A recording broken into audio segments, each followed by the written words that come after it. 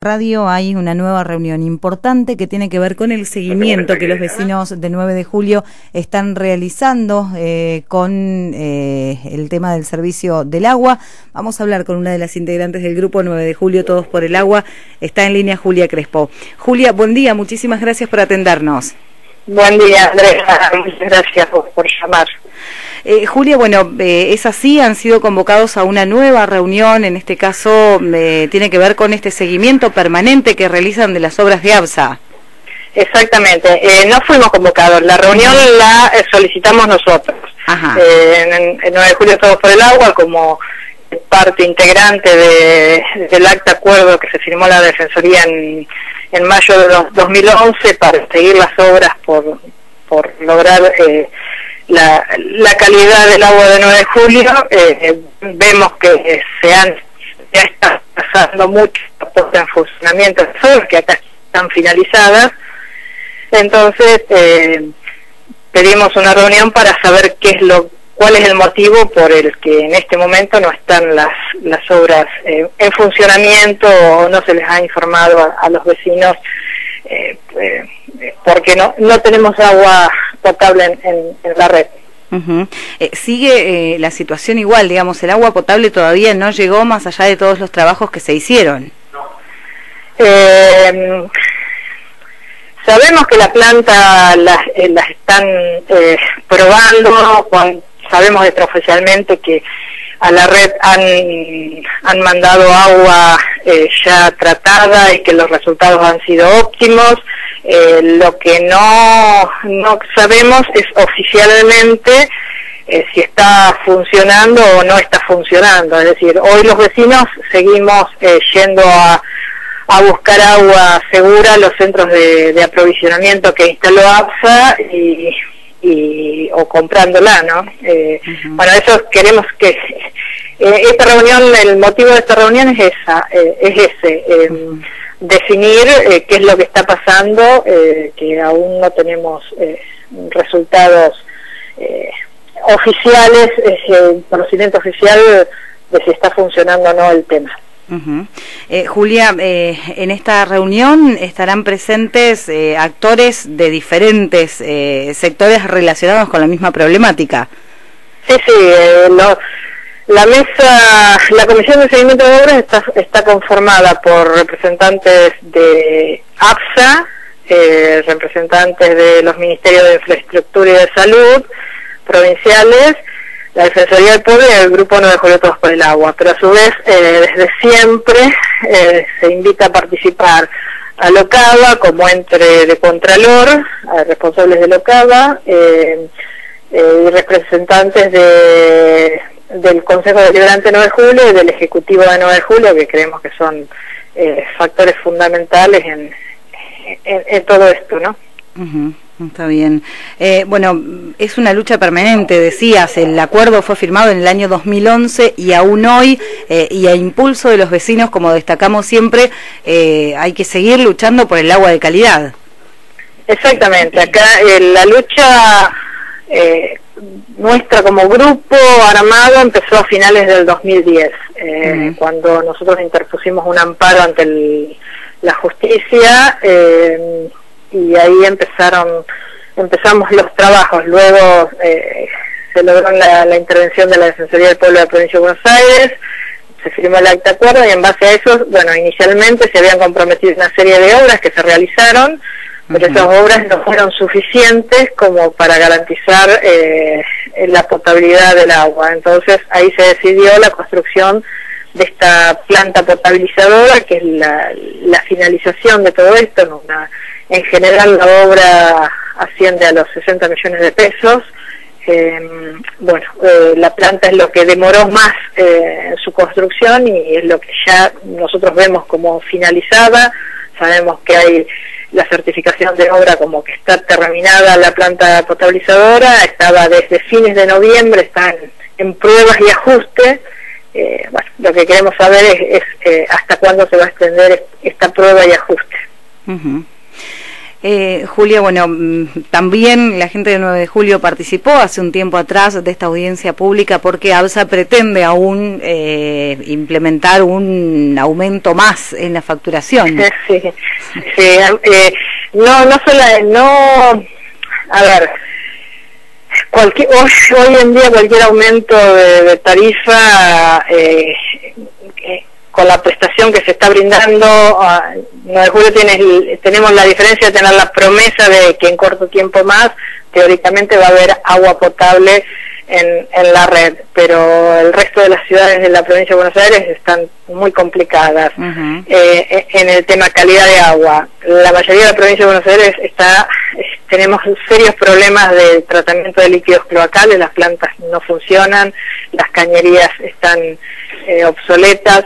Eh, lo, complicado, además del aumento de tarifa y lo que significa para el bolsillo del bonaerense, es que es un, un aumento para, para equilibrar la prestación, eh, pero no se habla de obras, no se habla de, mejoras, eh, es solamente para, digamos, mantener la estructura que sabemos todos que la estructura de APSA no es, mm. no es óptima, no es la óptima para prestar el servicio eh, es para mantener eso nada más, no en ningún momento se habla de obras, eh, entonces creemos que es inoportuno el, este aumento que, que está por salir, eh, según los medios se aplicaría a partir de mayo, creemos que que no corresponde no corresponde hasta que y así nos hemos expresado el 9 de julio tanto a nivel vecinal a, través de Juguetos por el Agua como a nivel oficial con un comunicado de eh, con un eh, eh, se, expresó el Consejo Deliberante por unanimidad diciendo que hasta que no se presten los servicios como corresponde por lo menos es es inoportuno este aumento.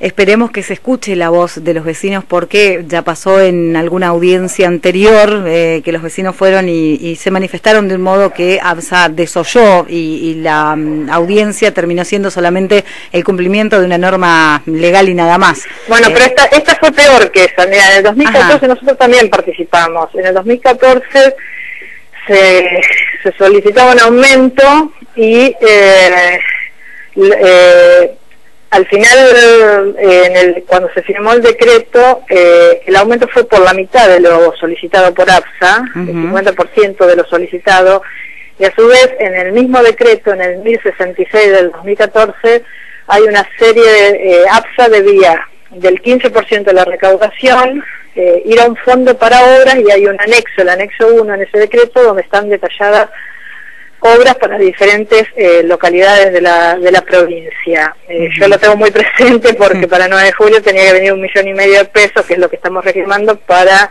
eh, la reparación de la planta de tratamiento de líquidos cloacales. En esta audiencia, cuando, cuando terminó la audiencia, es decir, no, no totalmente, pero se escuchó a los vecinos en los reclamos y se le dio importancia lo que dijimos los vecinos de, las cuestiones que, que, teníamos, es decir, no se aumentó lo solicitado. En esta audiencia terminó la audiencia y el presidente de APSA dijo, bueno, los escuchamos, está bien, pero el aumento va como APSA lo, lo pide y, no, lo único que hicimos es escucharlos para eh, para cumplimentar un requisito legal, pero no hay modificaciones, es decir, fue eh, completamente diferente a, a, las audiencias anteriores, ¿no? Bueno, blanquearon un poco una postura que habían demostrado ya en los hechos. exactamente, exactamente, exactamente. Fue muy, fue muy eh, grotesco el final de la audiencia de este, de este año. Fue muy grotesco. Se, se le apagó la, la luz a los a los usuarios que estaban, se terminó la audiencia apagándole la luz a los usuarios para que se vayan. Lamentable. Lamentable, sí, la verdad que lamentable. Pero bueno, eh, nosotros, es decir, siempre vamos a poner nuestra postura de, que los servicios no se pueden, ni se deberían cobrar si no se prestan como corresponde, eh, pero a su vez eh, seguir insistiendo para, por lo menos, en nuestra ciudad, en lo que podemos hacer así chiquitito, eh, lograr que se terminen las obras y bueno, ver si, si el resto de las ciudades deberían trabajar, deberían recibir el mismo tratamiento que ha recibido 9 de julio. ¿no? Ojalá así sea, sabemos que 9 de julio y siempre lo decimos, es eh, un, un, ícono dentro de lo que es el reclamo por el agua, nunca cayeron, nunca eh, se dejaron vencer, nunca bajaron los brazos y han logrado lentamente pero de forma continua eh, algunas cuestiones importantes, así que bueno, siempre queremos tener en cuenta lo de 9 de julio a modo de ejemplo para ver si en algún momento en Pehuajó, que realmente no tenemos servicio, ya no podemos hablar del servicio de ABSA, eh, en algún momento podemos lograr algo similar. Exactamente, sí, sí, conozco conozco la situación de Peguajó y siempre nos solidarizamos, y más en la audiencia, en la audiencia hicimos referencia a, a bueno, la situación de que en Peguajó hay, hay, hay zonas que realmente no tienen el servicio de agua, ni, ni, siquiera agua potable, sino simplemente no tienen agua, bueno, y sí, es la forma, no bajar los brazos y seguir con, con el reclamo y, y bueno, usar las, las, herramientas que se, que se tienen, usarlas todas, no dejar de ninguna, ninguna eh, sin usarla, que es lo que le podemos recomendar desde acá, desde 9 de julio. Julia, como siempre, muchísimas gracias por toda la información. Bueno, gracias Andrea por estar atentos y ojalá que la próxima vez que hablemos sea para decirte que, hmm. eh, que está funcionando todas las obras y que bueno este, hemos cambiado hemos cambiado porque nosotros siempre decimos bueno ahora se va a terminar una etapa y hay que empezar con otra etapa que es la de del cuidado de y la concientización de del no derroche de de agua que, que que generalmente pasa en estas ciudades con, con el mal uso ¿no? del recurso y que es tan importante preservarlo hoy en día. Ojalá, ojalá así sea y podamos hablar de, de otro tipo de, de, noticias en la próxima entrevista. Gracias como siempre. Bueno, nos vemos. Gracias por llamar. Que tengas buen día. Hasta luego. Hasta luego. Julia Crespo, integrante del grupo 9 de julio Todos por el Agua, grupo ultra activo desde hace seis años trabajando en